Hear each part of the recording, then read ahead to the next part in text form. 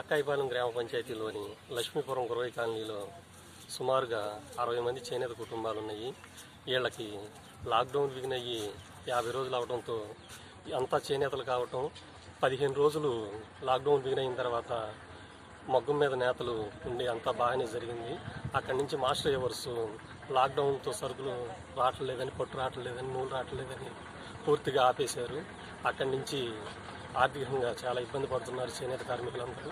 దీన్ని గమనించి ఇదే చేనేత కుటుంబాలకు సంబంధించిన వీరక బాలసుబ్రహ్మణ్యం గారు అలాగే మంగళ శ్రీనివాసరావు గారు గుత్తి గణేష్ బాబు గారు ఈ కుటుంబాలకు ఈరోజు బియ్యము నిత్యావసర సరుకులు ఇవ్వటం జరిగింది. ఇది గమనించి ప్రతి ఒక్కళ్ళు ఆర్థికంగా చేనేతలో స్థిరపడిన వాళ్ళు ఎవరైనా గమనించి ఇలా ఎవరైతే పూట గడవకు ఇబ్బంది పడుతున్నారు.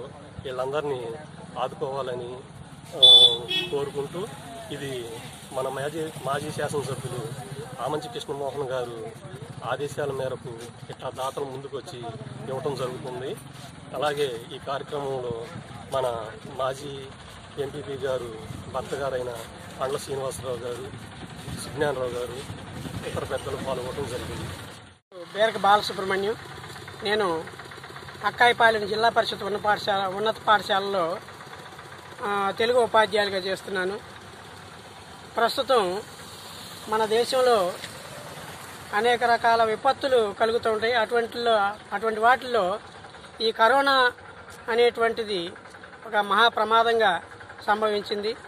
ఇటువంటి పరిస్థితుల్లో లాక్డౌన్ సందర్భంగా కూలీకి వెళ్ళలేక చేసుకోలేక ఇంట్లోనే ఉండేటువంటి పేదవాళ్ళందరికీ కూడా సహాయం చేయాలనేటువంటి ఉద్దేశంతో